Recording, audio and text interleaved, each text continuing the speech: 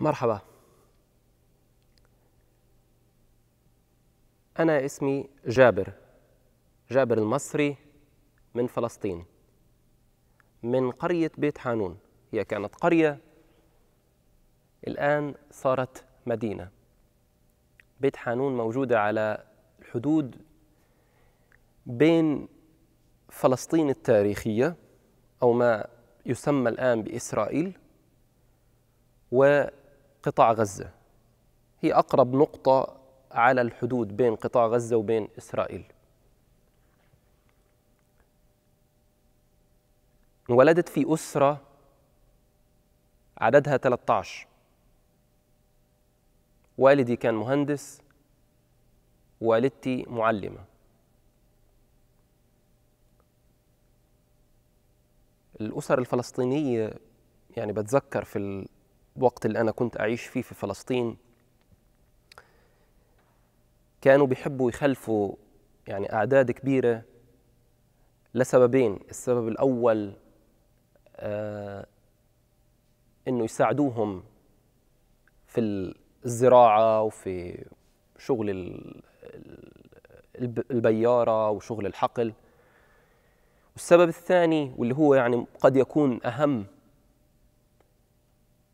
إنه لو أحد مات منهم بسبب الحرب تعودنا كفلسطينيين إنه لازم إنه الحياة تستمر لازم يكون في موجود أطفال أكثر. لو واحد مات إنه الآخر يكمل المشوار.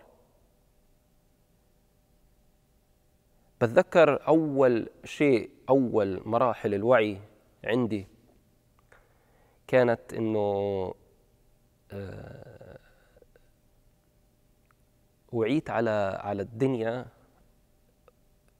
في جو كان إغلاقات في المساء كان يصير اللي هو حظر تجول.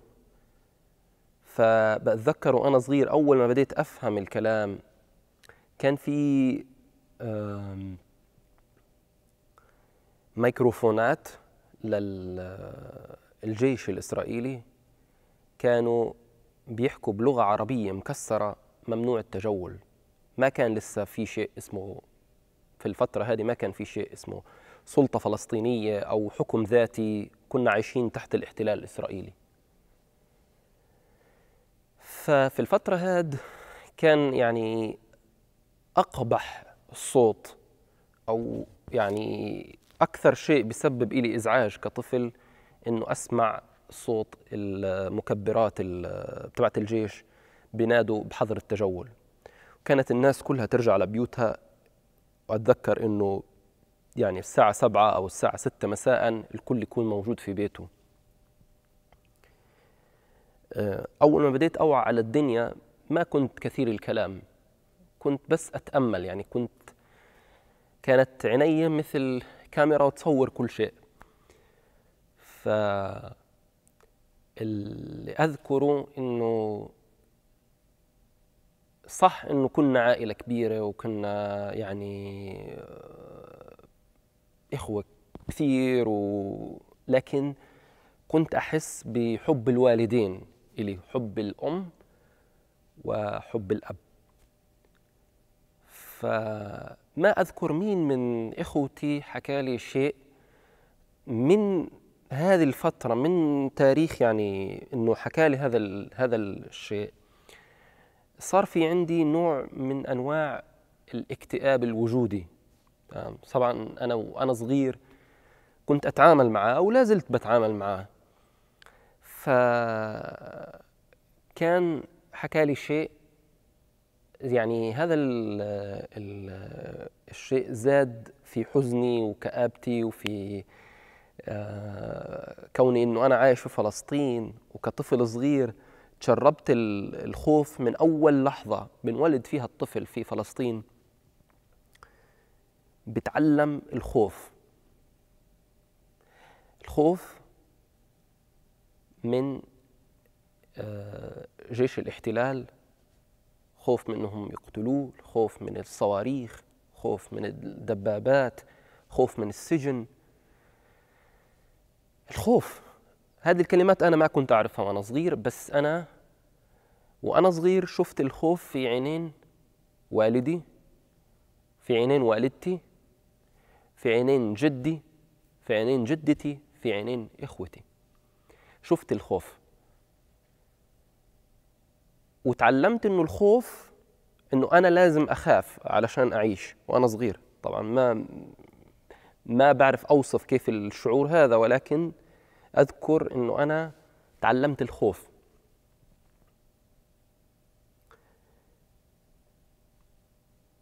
أخوي حكى لي يعني طبعا أنا كنت كان عندي إحساس وأنا أول ما بديت أوعى إنه أنا عايش في الجنة لأنه في الحب غير المشروط اللي كان موجود من من الأب والأم تمام؟ ولا زال موجود. لا زال موجود اللي هي الحب تمام؟ حبك لذاتك. هذا الحب الإلهي يعني كنت من أنا صغير كنت أحس فيه والحب من الإخوة والحب من. حتى الحيوانات من القطط من العصافير من حتى الحب من الشجر من من الأرض من هذا الحب كنت أحس فيه وأنا صغير. ف اللي كان يعكر الإشي هذا بس الخوف ما كنت أعرف ليش إنه هم خايفين. فتعلمت إنه أنا برضو أخاف زيهم. لما اجى أخوي وحكى لي الشيء اللي عكر صفوي حكى لي قال لي إنه بتعرف إنه إحنا بتعرف إنه أبوي وأمي آه وستي وسيدي ممكن يموتوا. يعني حكى لي على كلمة الموت. ما فهمت أنا إيش الموت سألته ما صدقته حكيت له إيش يعني الموت؟ حكى لي الموت إنه إحنا خلاص بنموت وبعد هيك أرواحنا بتنتقل للجنة. فمن تاريخ القصة هذه صار في عندي هذا الاكتئاب الوجودي. محاولة فهم معنى الحياة بطريقة أخرى محاولة فهم سبب الوجود تبعنا وحكى لي ممكن إنه اليهود يقتلوهم. ممكن إنه نقص الأكل يكون ما يكون في كفاية أكل والجوع يقتلهم. يعني إنه الإنسان يعيش في في حرب. وفي ظروف زي هاد بتخلي الإنسان يوعى على موضوع الموت في عمر مبكر جدا. يعني أنا بالنسبة إلي لحد الآن ما بعرف يعني كيف استوعبت هذا هذا الأمر. ولحد الآن يعني لا زال في عندي معاناة من هذا الموضوع. فما ما كنت متقبل فكرة إنه أنا كإنسان وأبوي وأمي وعائلتي وكل الناس اللي بحبهم المحيط بتبعي إنه إحنا إلى زوال. ما كنت متقبل إنه هذه الروح اللي موجودة يعني كنت أحس إنه روحي هي أزلية. حتى وأنا طفل يعني اشعر إنه أنا إنه أنا يعني خلقت تمام؟ و لأبقى. لما حكى لي على الموضوع هذا وحكى لي إنه لا إحنا راح نموت وهذا الحب الغير مشروط يعني أنا كان بالنسبة له هو بيحكي لي عن الموت كان آه وكأنه بيحكي لي إنه هذا الحب اللي غير مشروط من أبوك ومن أمك ومن الناس حواليك هذا راح ينتهي في يوم من الأيام.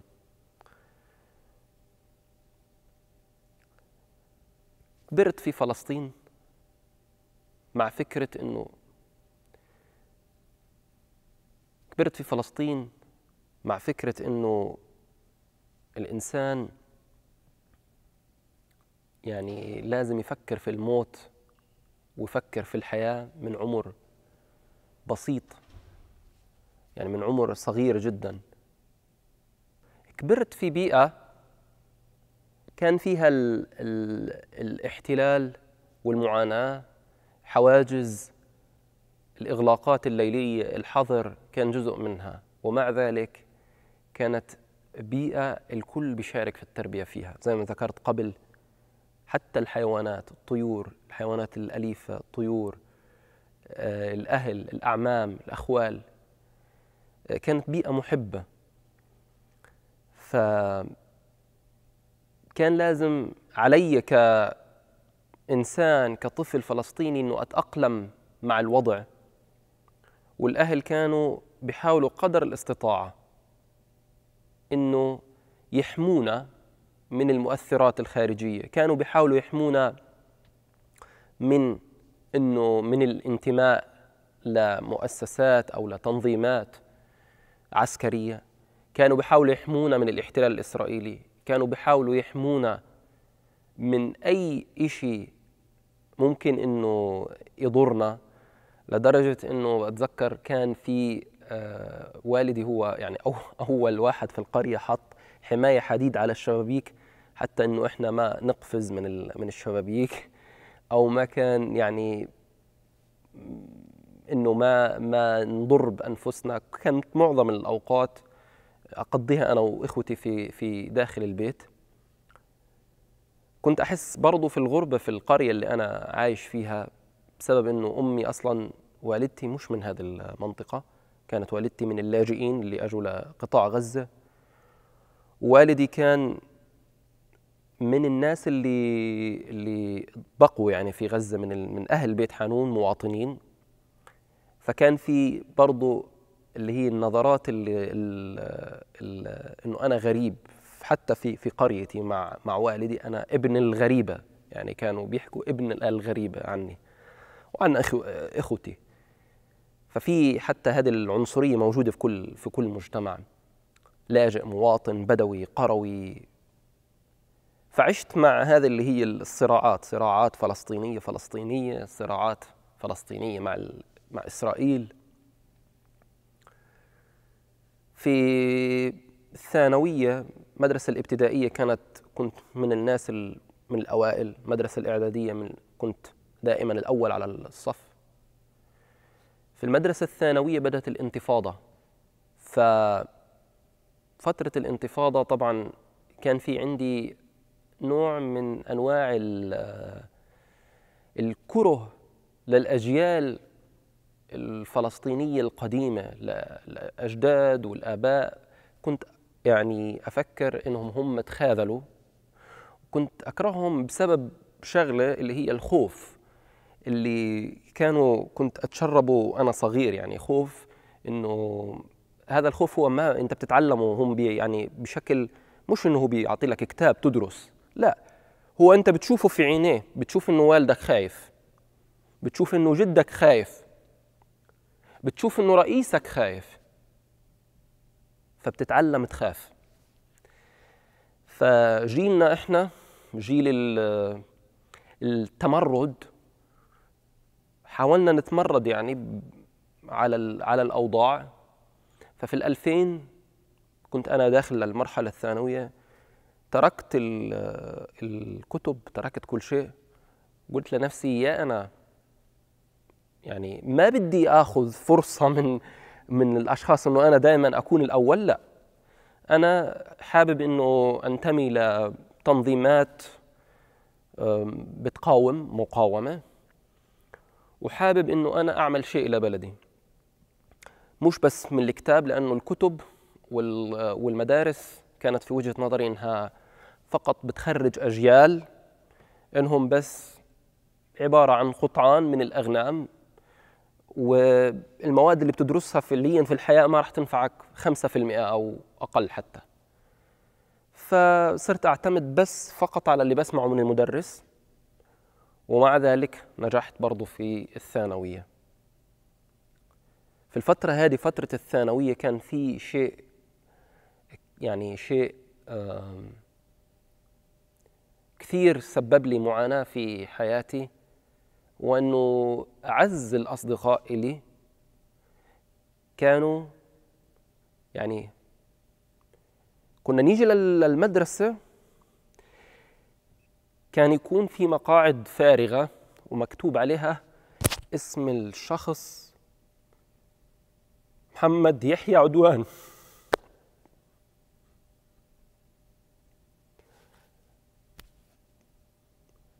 يعني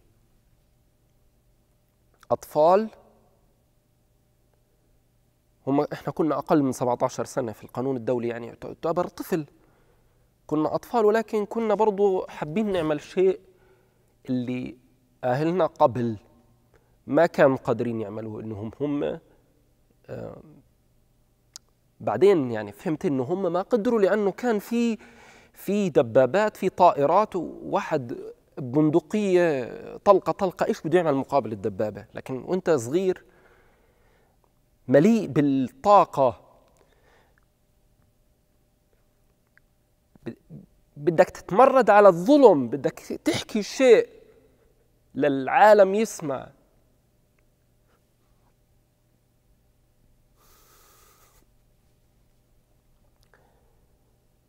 كنت آجي للمدرسة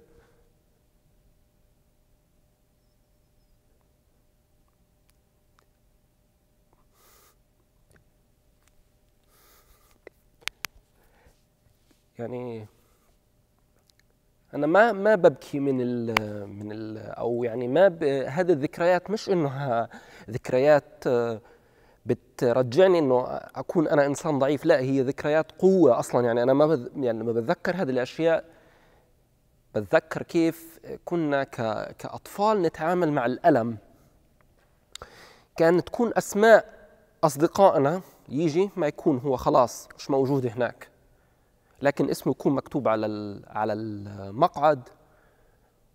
وكنا نودعهم. كنا نروح على الجنازات ونودع هذول الأطفال.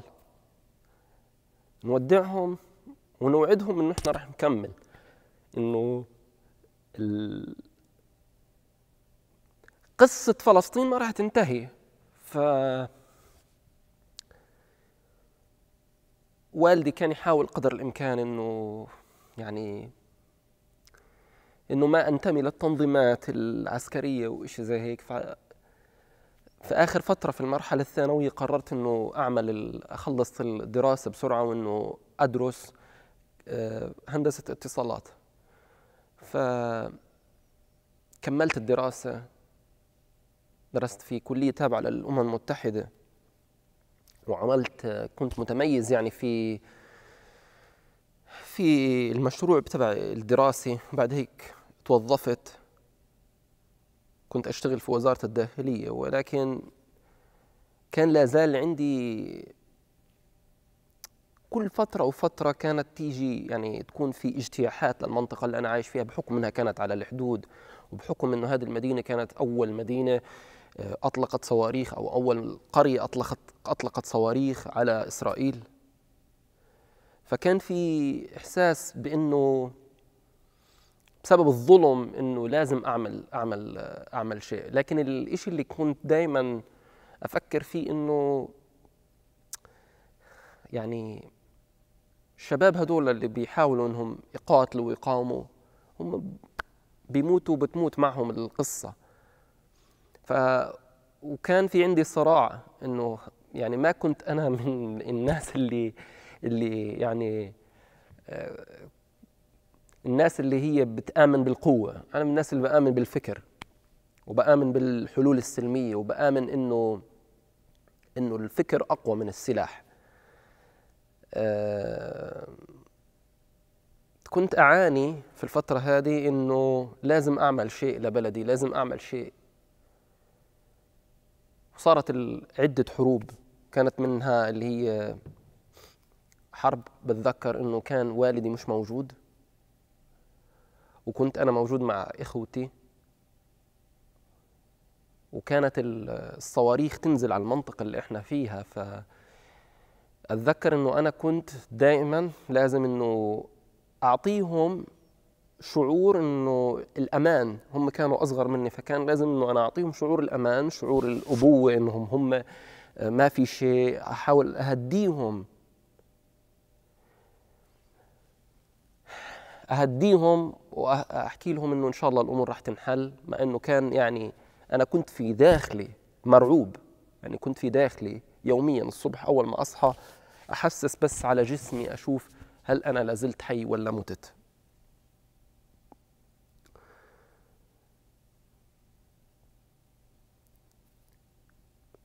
أنا في مدينتي أو في القرية بتاعتي بتذكر آه، شجر البرتقال. شجر البرتقال كان ممكن للزائر لبيت حنون يشم ريحة البرتقال عن بعد خمسة كيلو ستة كيلو قبل ما يوصل لما بيجي زهر البرتقال بتفتح. هذا يعني هذا أحسن عطر أحلى رائحة. يعني الإنسان اللي بي بي بيكون عايش في في البيئة هذه ما ممكن ينسى رائحة مثل هذه. كان في بيني وبين شجر برتقال اللي سيدي كان مربيه أو يعني زارعه في البيارة تبعته كان في في علاقة حميمة. يعني كنا نروح نلعب نتخبى ندور على شاش العصافير. آه كنا نروح كان في ظل في حنان يعني كنت أحس إنه الشجرة زيها زي أمي زيها زي أختي. فهذا الشجر كله في فترة من الفترات اعتقلونا. اخذوا كل طفل عمره أكبر من 16 سنة. أخذونا وجمعونا في مكان ولما رجعنا كان كل شيء باللون البني. ما كان في شجر برتقال. جدي بعدها توفى بعد فترة من ما اقتلعوا شجر وزرع مرتين. زرع مرة شجر, شجر زيتون قلعوه وزرع مرة ثانية برضه شجر زيتون وقلعوه فمات بسبب الحزن. والمرض والألم. لما رجعت أنا من السجن بعد ما أخذونا في ال... أخذونا جمعونا في مدرسة بسموها مدرسة الزراعة عندنا في بيت حنون. جمعونا هناك. ما كان في إحساس أروع من إنه لما رجعت وكان الوالدة والوالد كانوا في انتظاري.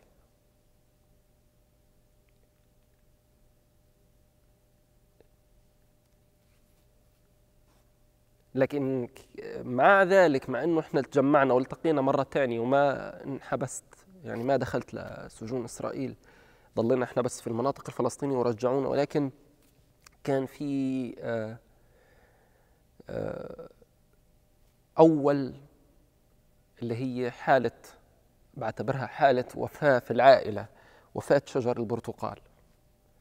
بعديها ماتت جدتي. بعدها مات جدي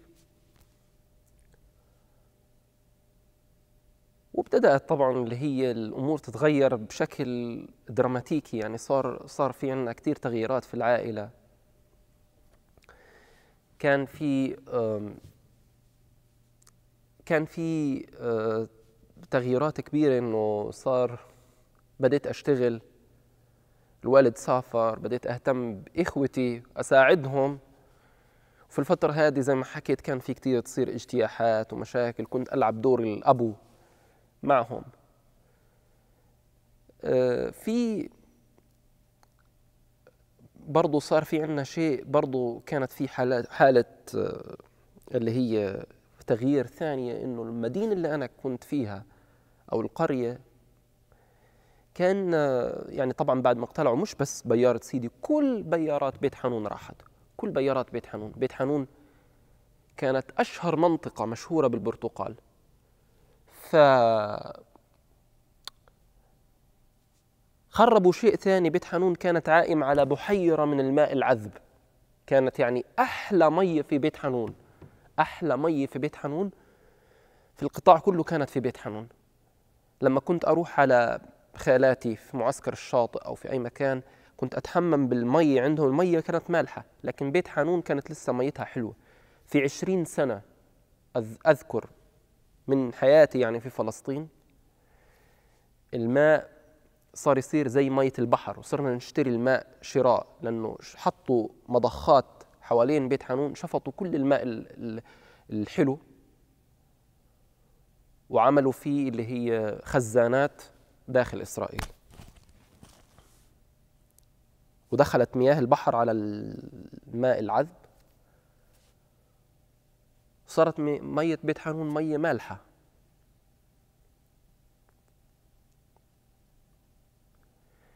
في القصة كلها هذه كان في دائما في رغبة للتمرد في روح داخلي مش عايزة تموت وفي قصة فلسطينية كان لازم إنه توصل للعالم. في اجتياح من الاجتياحات. كنت موجود مع إخوتي. بنتفرج على التلفزيون. كان في انقطاع للكهرباء وبتيجي ساعة أو ساعتين فكنا بنتفرج على التلفزيون. ففي بنت اسمها جميلة الهباش. أنا شفت يعني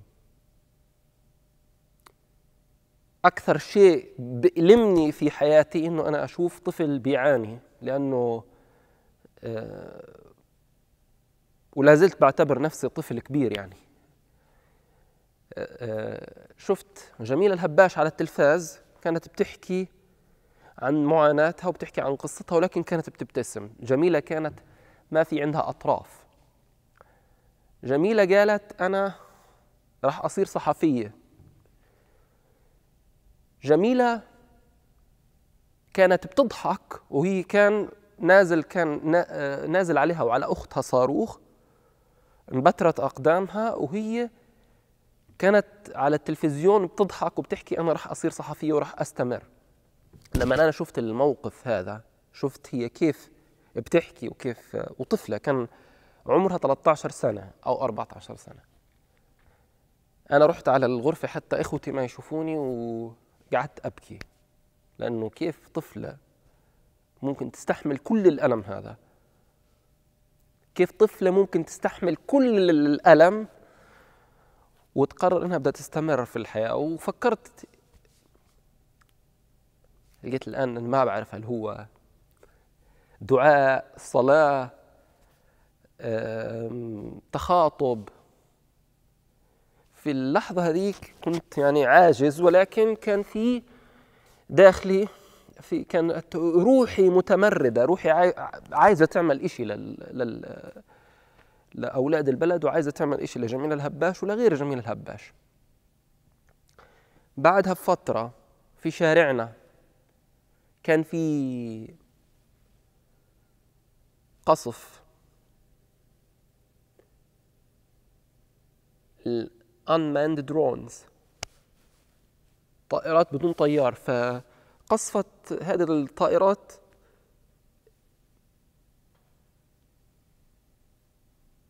ناس من الناس اللي ماشيين في الشارع.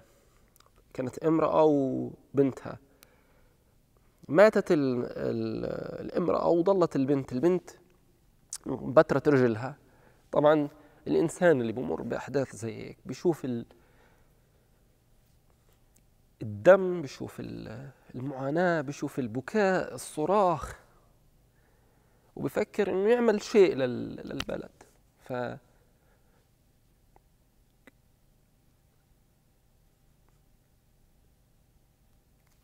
فكرت أنا إنه بدي أعمل ثلاث أشياء في حياتي.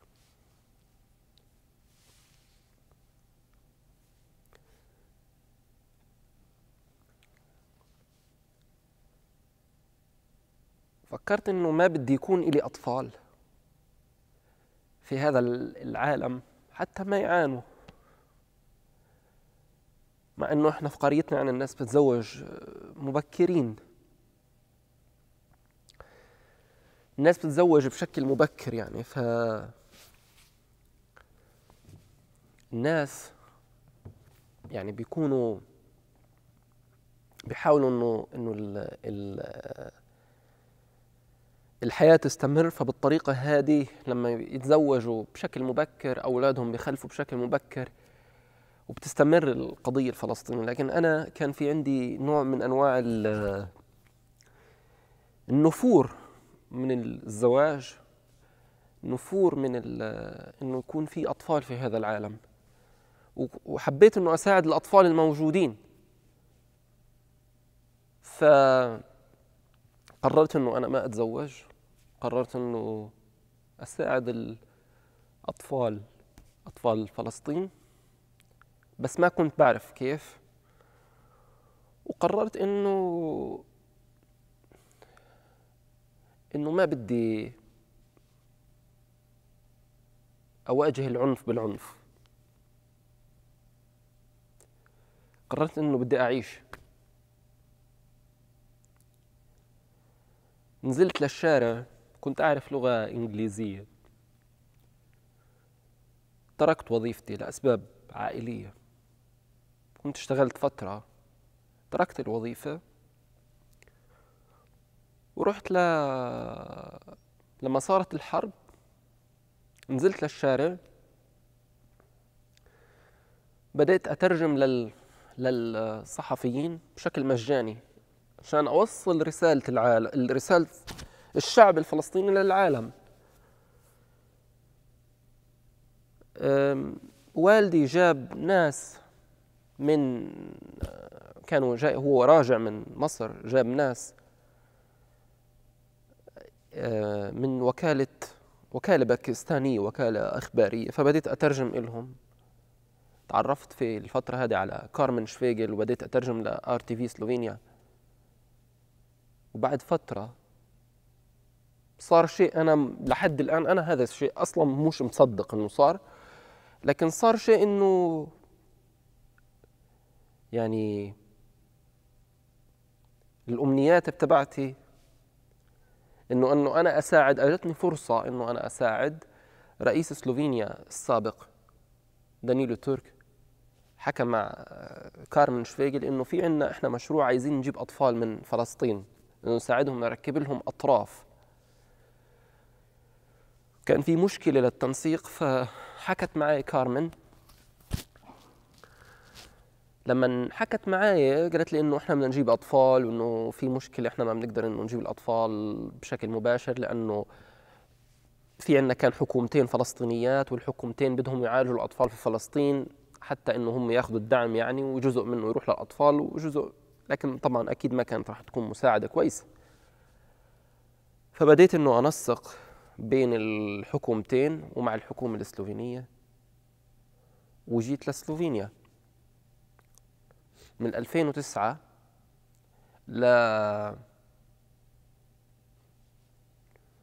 حد السنة اللي فاتت أو السنة اللي قبلها كان في عنا فوق ال 150 طفل جبناهم يتعالجوا في سلوفينيا. قصة طريقة التعرف على كارمن وبداية العلاقة مع سلوفينيا يعني قصة كانت يعني قصة شوية غريبة ولكن آه، الإنسان بحس إنه كل شيء في هذا الكون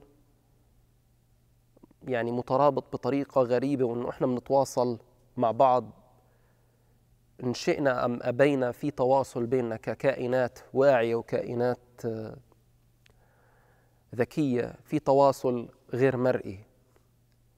يعني أمنياتي اللي أنا كنت أتمناها إنه أقدر أساعد أولاد شعبي ومش بس أولاد شعبي كل طفل كل طفل بيعاني في هذا الكون.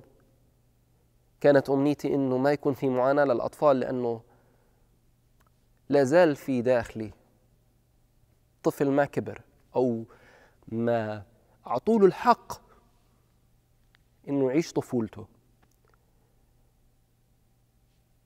هذا الطفل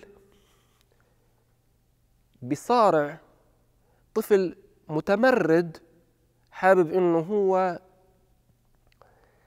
يعني يساعد الناس اللي اللي ما كانوا ما كان عندهم فرص. يعني كان كل شيء كنت أملكه في هذيك اللحظة كانت لغتي. كنت أعرف لغة إنجليزية وبديت أشتغل أساعد في اللي هم الصحفيين. التقيت في كارمن في بيت كنت رايح لبيت خالتي خالتي هدموا بيتها. أخذت الصحفيين الباكستانيين على قرية في جباليا. كانت في بنت فلسطينية جالسة على الحجر ركام البيت وكانت بتقرأ في الكتاب ولا كأنه شيء صار. وقفت أنا والصحفيين الباكستانيين لأنه كان بدي بدي العالم يشوف الروح الفلسطينية. الروح اللي ما مش عايزة تموت.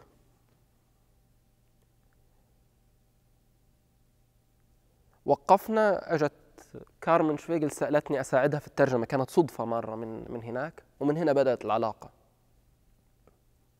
في بيتي في فلسطين كثير من الصحفيين الدبلوماسيين آه، الناس اللي اشتغلوا في الأعمال الإنسانية كانوا موجودين في بيتي. استقبلتهم كضيوف.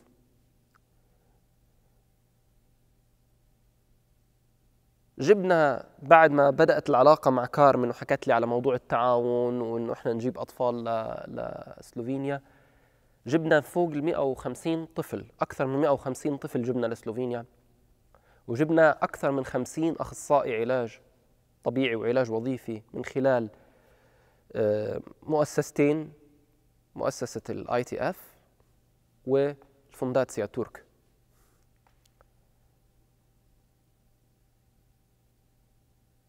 تعرفت على طليقتي في ال...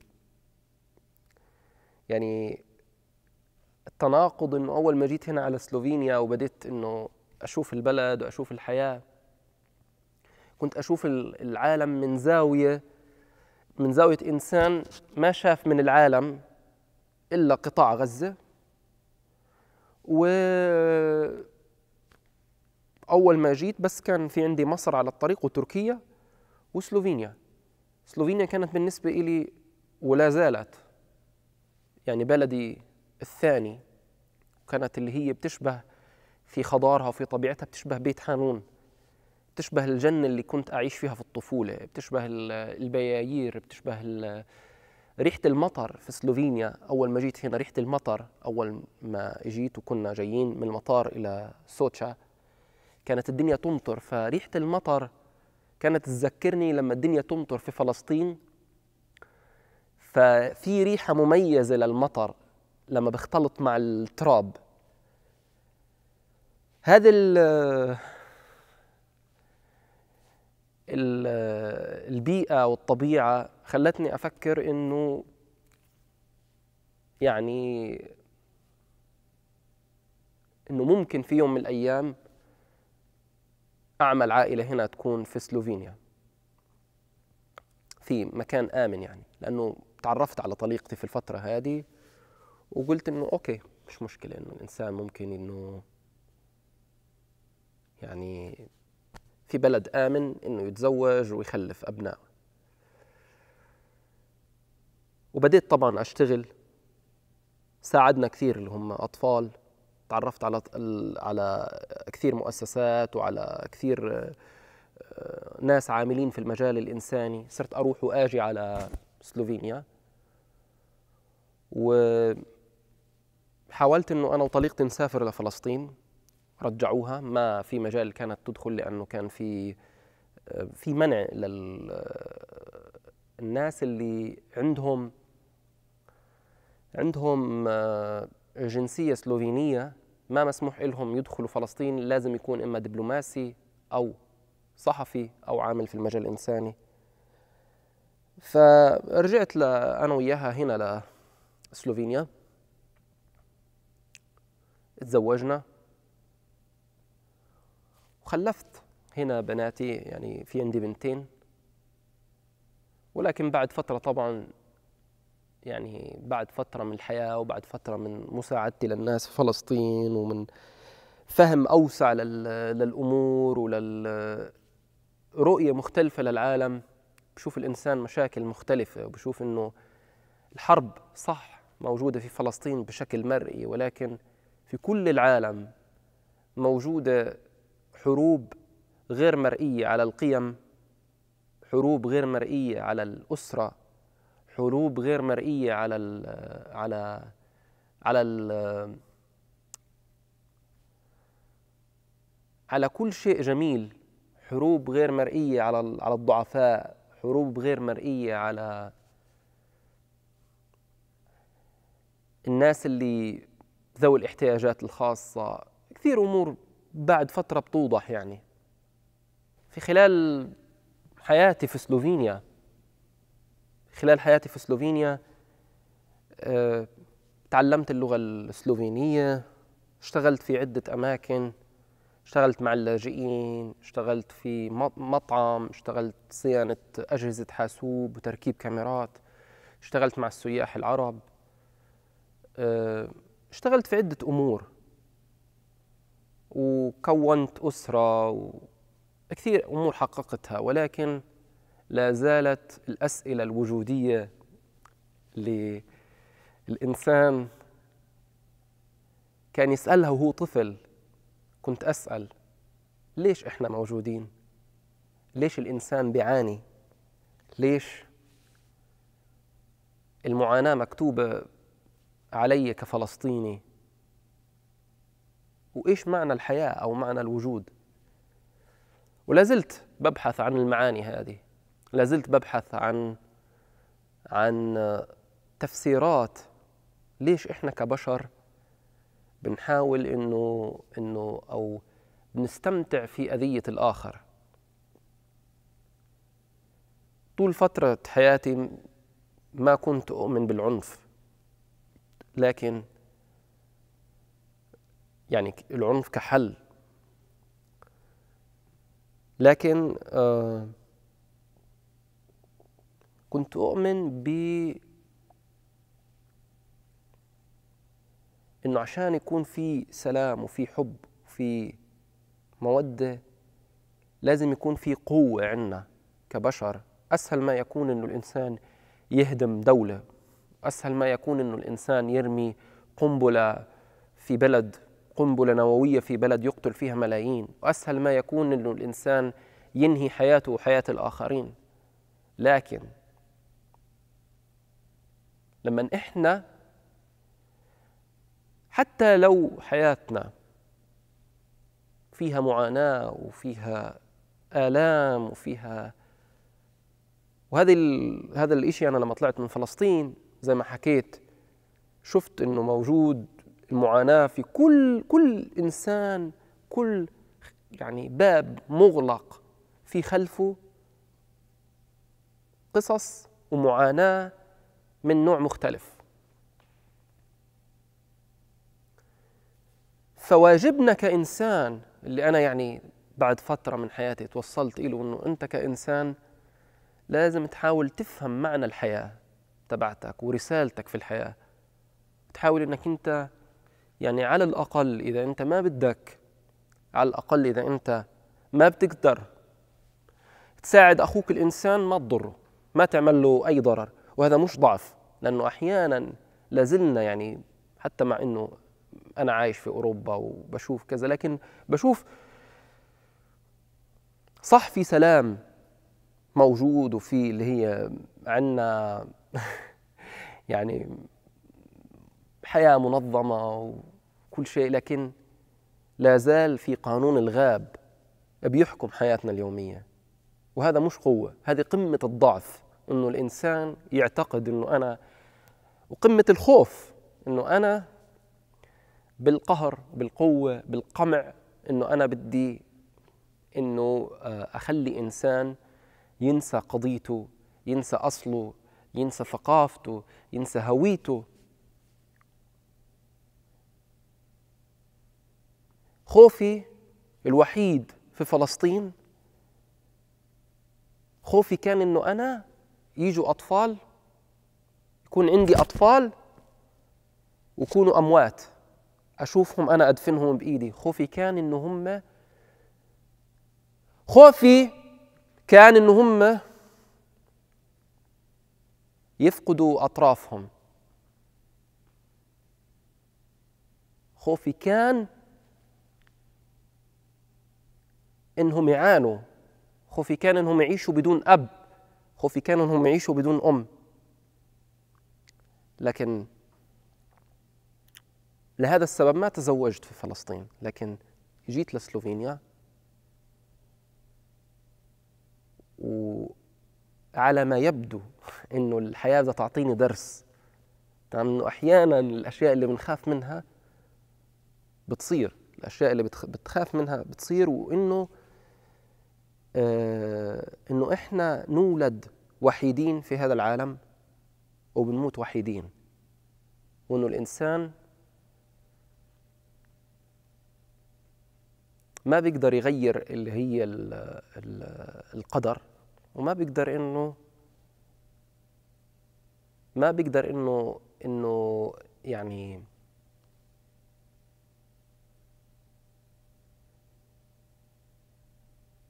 ما بيقدر بالقوة إنه يعمل إشي مخالف للقدر بتبعه.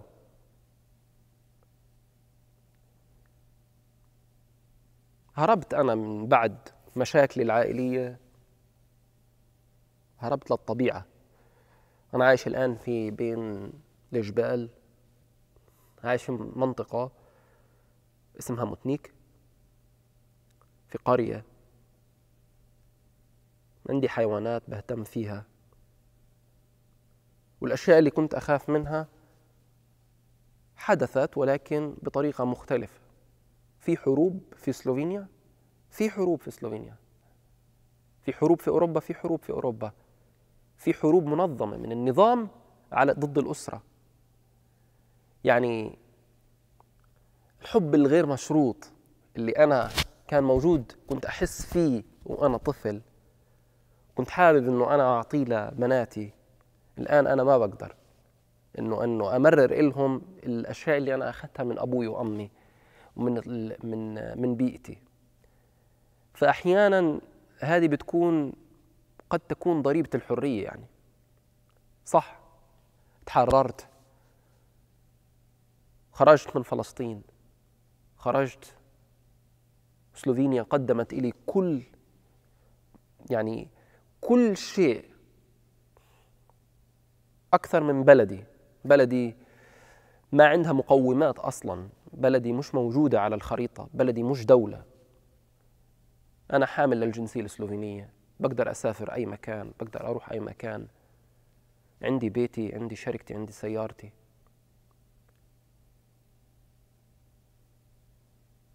كل هذه الأشياء في بلدي اللي هو الأول والثاني. يعني الأول من ناحية أنه أنا أصلا كفلسطيني ما عندي جنسية. الفلسطيني فلسطين لا تعتبر دولة. مش كل الدول بتعترف فيها كدولة. والجواز الفلسطيني هو عبارة عن وثيقة سفر مش جواز. فأنا قوميتي فلسطيني ولكن أنا سلوفيني الجنسية. فهي بلدي الأول سلوفينيا وبلدي الأم فلسطين.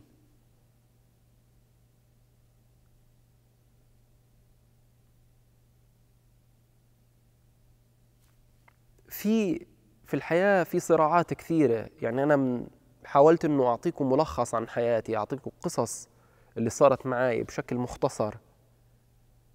حياتنا يعني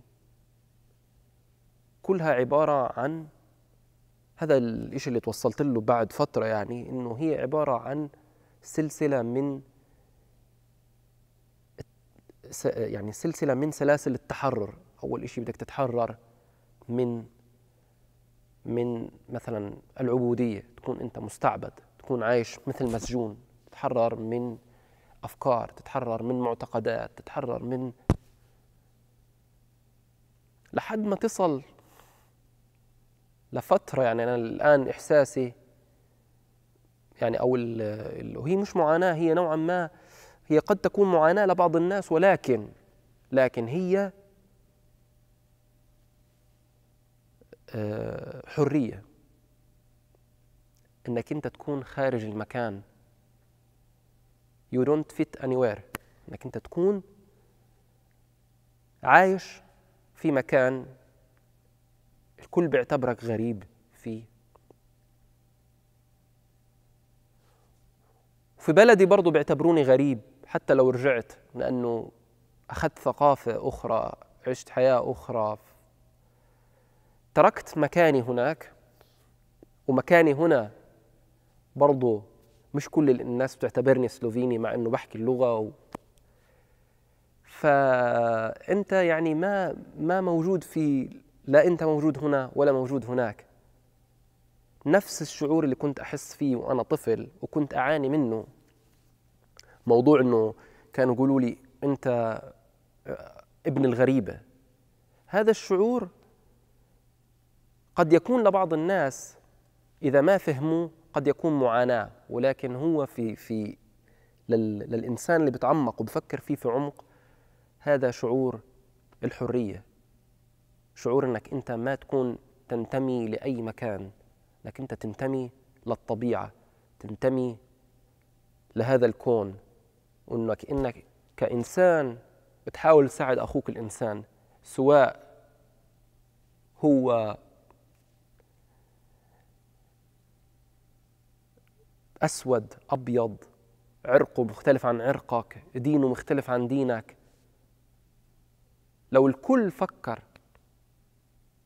بالطريقة هذه ممكن مشاكلنا تكون أقل في هذا العالم.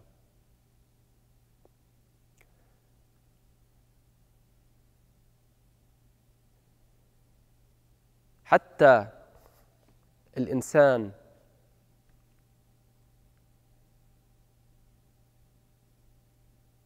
يعني اللي بيفكر مثلا بيقول إنه مثلا والله مشكلة اللي هي فلسطين وإسرائيل إنه هذه المشكلة طولت ومعاناة وأكثر من سبعين سنة والقصة مستمرة وكذا. في مشاكل في كل العالم. الإنسان اللي بيسافر وبشوف في مشاكل في كل العالم. في كل بيت في مشاكل وفي كل بيت في معاناة وفي كل بيت في في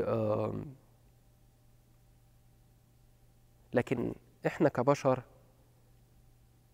لازم إنه إحنا نتمرد على المعتقدات والخرافات ونتمرد على الخلافات اللي بتخلينا إنه إحنا نصنف أنت كذا أنت كذا أنت عرقك كذا أنت مختلف. وقد يكون العالم بشكل أفضل.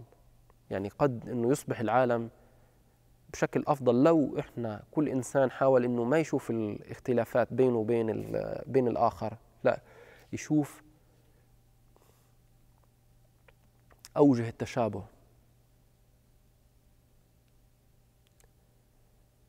رؤيتي للعالم أنا شايف إنه للأسف إنه لحد الآن إحنا بنعيش في مجتمعات داروينية. مجتمعات القوي يأكل فيها الضعيف والبقاء للأقوى. لكن رسالتي لكل إنسان إنه في الأول نتمرد على ذواتنا نتمرد على أنفسنا نتمرد على كل شيء بيمنعك إنك أنت تكون إنسان. كل شيء بيمنعك إنك أنت تكون إنسان. يوم ما أنت تتمرد على نفسك وتعرف إنه الأنا أنا أفضل من فلان أنا أحسن من فلان. هذا مصدر كل خلافاتنا على هذا الكون.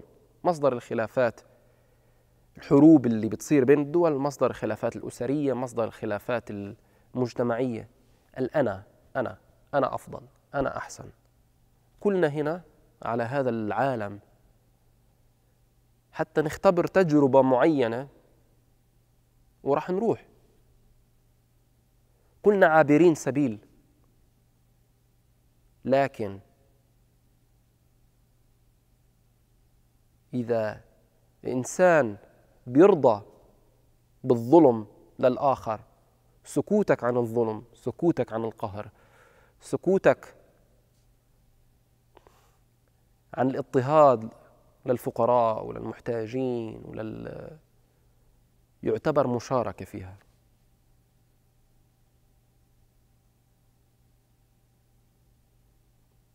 سكوتك عن قتل الأطفال يعتبر مشاركة.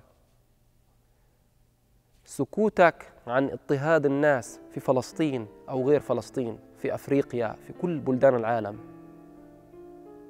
يعتبر مشاركة. شكرا لكم